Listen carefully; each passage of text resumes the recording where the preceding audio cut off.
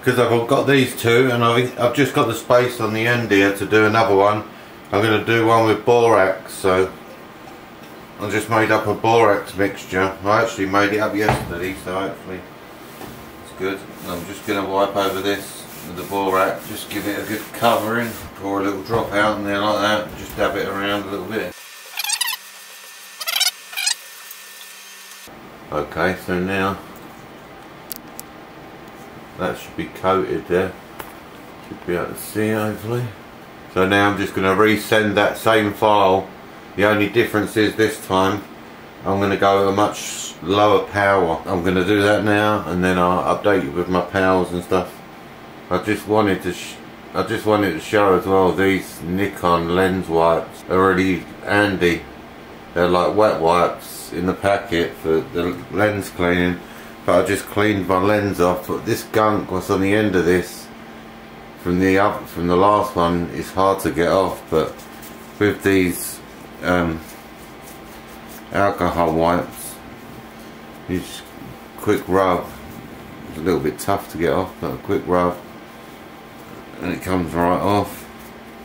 Okay one thing I did just notice here this is quite bouncy here so the middle's high and really when you're doing borax you don't want that. So all I'm going to do is cut these two out and then I can put some of these pins like this. Then I'll be able to put them here to help pin this down. So I'm just going to quickly cut them out first. Okay I've got them two cut out. So I've got these. This is going to etch and then I've just got a cut coming along here down and back. It ain't going to do this line. That's why it's past there at the moment. Okay so I'm going to bring it to the middle of the etching manually focus it at 7 millimeters which I know these two are put together is 7 millimeters so I'm just going to drop them down onto that. And then I'm good to go.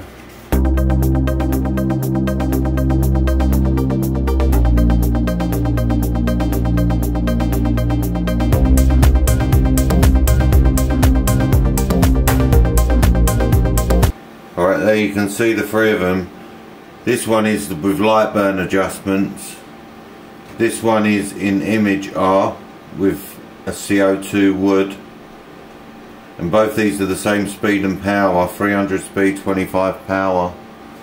The last one is still CO2 wood from Image-r, but it's only a 12 power.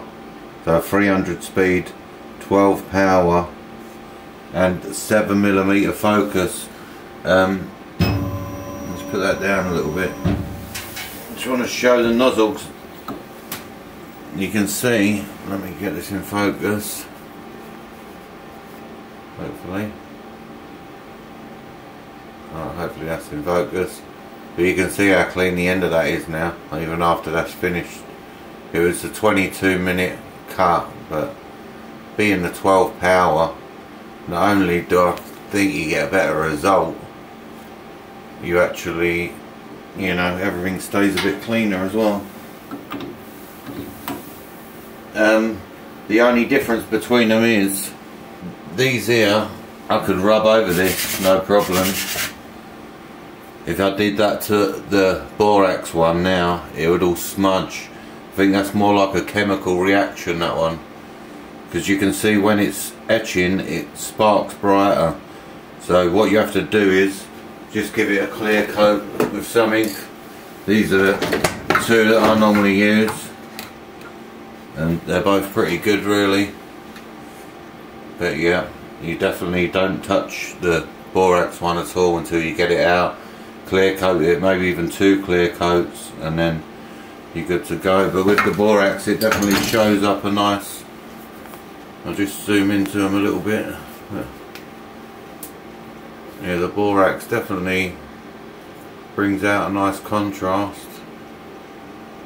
Borax, image. I mean that's nice but it's just a different colour. The black and white gives you a lot better contrast. So yeah, just wanted to show that. Someone mentioned borax and I thought well I've got it all in here ready, I'll give it a go. So thanks for watching and I'll put out another video soon. But yeah, in my opinion, I like the borax. but some people don't but there's the comparison for you so thanks for watching please like and subscribe and I'll upload another video as soon as possible thank you